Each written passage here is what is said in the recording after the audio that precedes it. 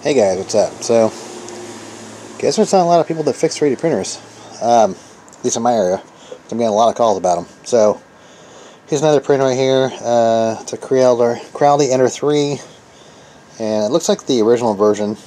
Looks like it might have some upgrades on it. Um, so the customer uh, was trying to get a BL Touch going on this thing and said he couldn't get it to go.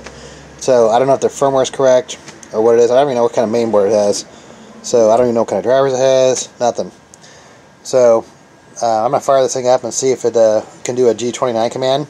So if it can do a G29 command and it starts moving around, then I'll know the guy actually put the right firmware in there. But if it doesn't respond to G29, then I'll know there's something going up. Yeah, I got this thing going. So, I mean, Ender 3s are alright. I mean, it's like a really entry-level printer. There's only one axis on there, one Z-axis. And actually, another one I had done, the guy had actually upgraded to a second Z-rod here. Uh, you know, lead screw. And it had a belt on there to keep them in sync. Uh, just let me look at that. You're never going to have any sort of like major quality with that much movement.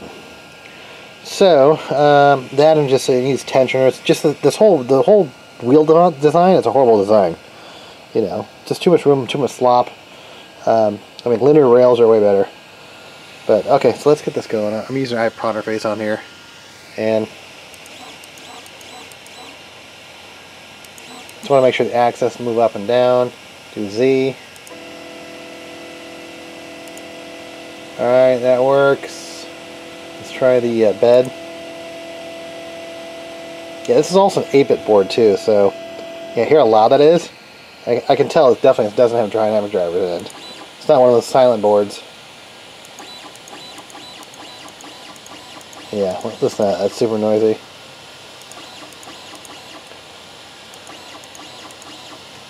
Okay, so um, let's do a, let's home this thing, so I'm going to go back. And here. G 28 and that should actually home that should home it. Yeah listen how noisy it is. It's been a while since I've worked on a printer with uh, these older drivers like all my my first computer my printer bought actually had the the super loud you know guess I'm kind of spoiled with the Trinamics okay that's really okay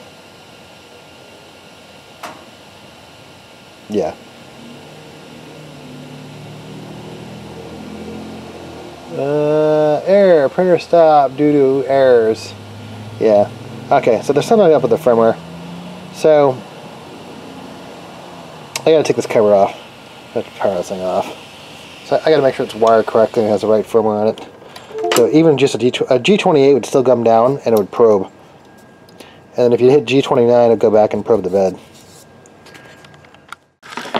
Alright, so it has, has the new 5-pin connector right here uh, newer style, like well, the Creality, like a proprietary 5-pin connector. Like your typical normal BL Touch would actually use the Z end stop and a combination of the servo pins, but they try to put the end stop and the servo pins on one thing.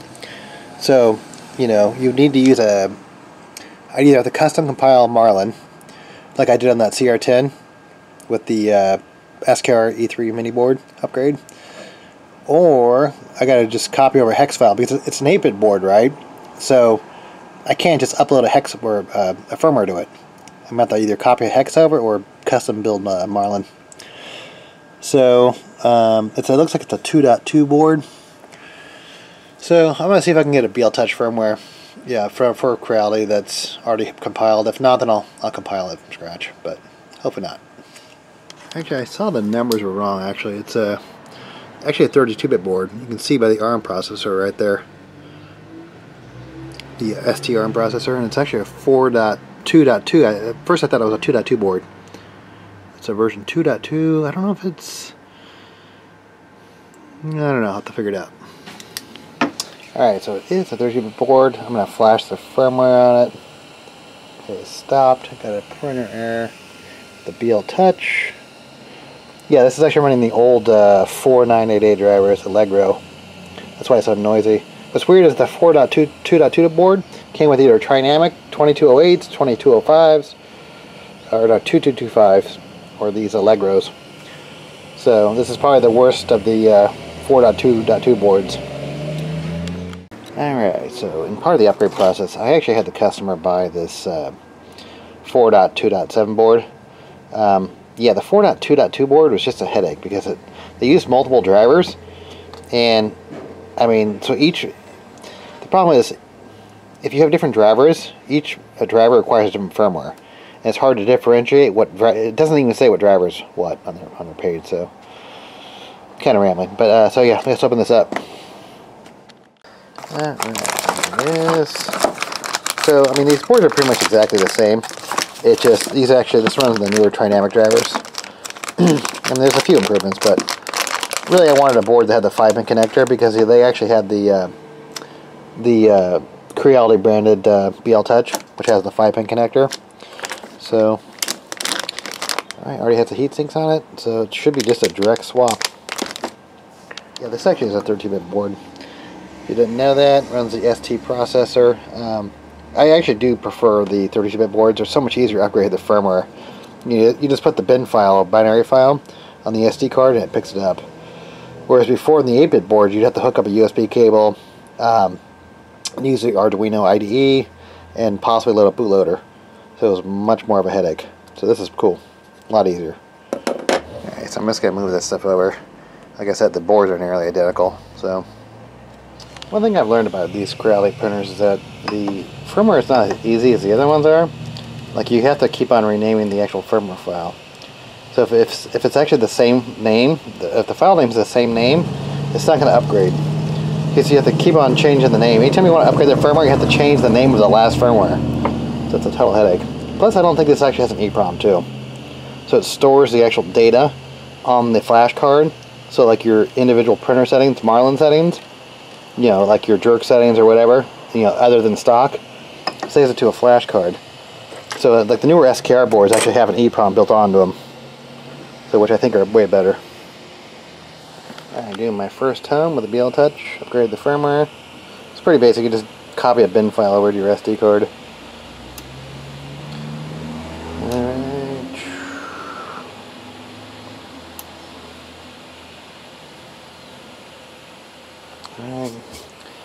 So once I get the electronics I know dialed in, I'm going to fish the wire back through this cable thing right here. Yeah, because that way it's not hanging everywhere. So let's do a, uh, what's it, uh, control, bed leveling, and uh, level bed. So the level bed is actually a G29. So auto home, where was that? I got back to that. So auto home um, is G28 and bed leveling, sorry, level bed. So G28 is actually homing, and then G29 is this. This should be by default. Does it should do a nine point.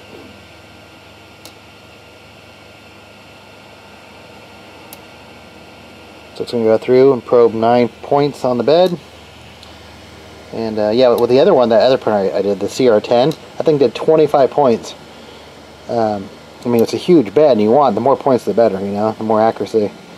But this is a pretty small bed, so you don't need to go crazy with it.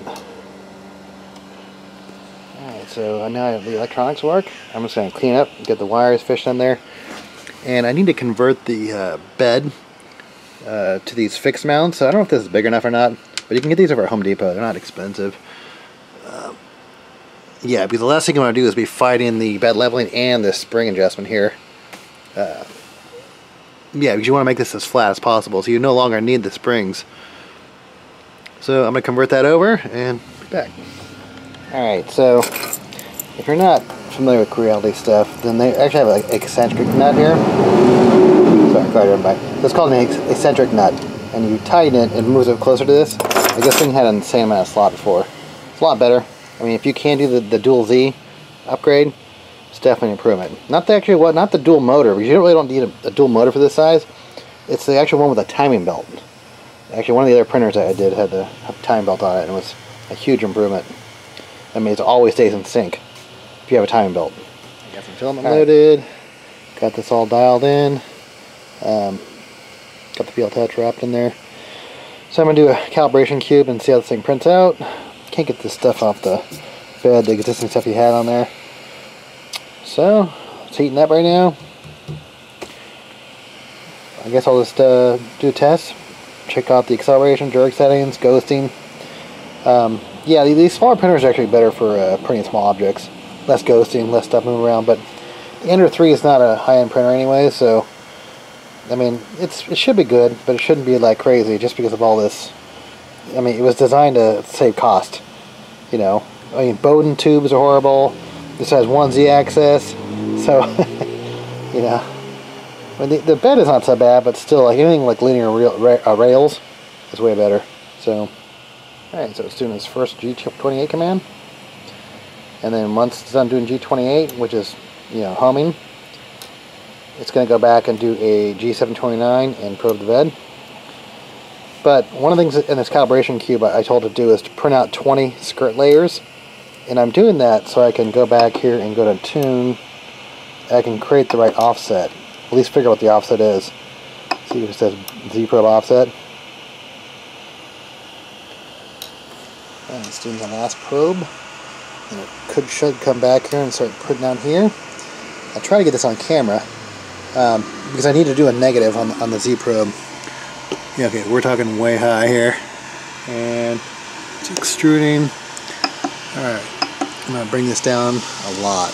I can tell that's at least one, Wow, look at that. See, as you can see the head go up and down. See right there? As I bring it closer to the bed. Alright, so I'm, at three. This one out of there. That's why I do 20 layer lines. Bring it down closer. Now at four. Okay. Uh, that's a little too much. Do four. Okay. It's a little bit too much. Three, eight. Okay. Okay. That's still too much. 3 6. This guy has a lot of extra beds. So, 3 5. So I went a little bit too aggressive here. 3 4.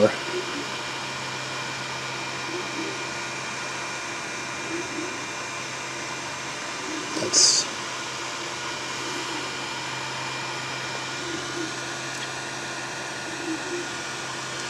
So this is how you dial in the first layer. Okay, I need to go back to 3.5.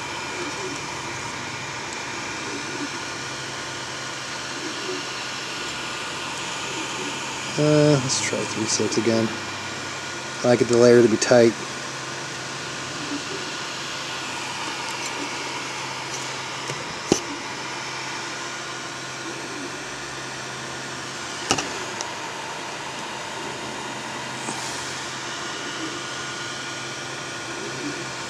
The other thing too is I really hate these single uh, single-sided uh, gears, the extruders. Uh, I definitely prefer the Bondtech with the dual drive. Um, so one of the things you got to do is I'm going to try to make sure this is not slipping. You know, the filament's not slipping in there. Because that will also create extrusion problems too as well.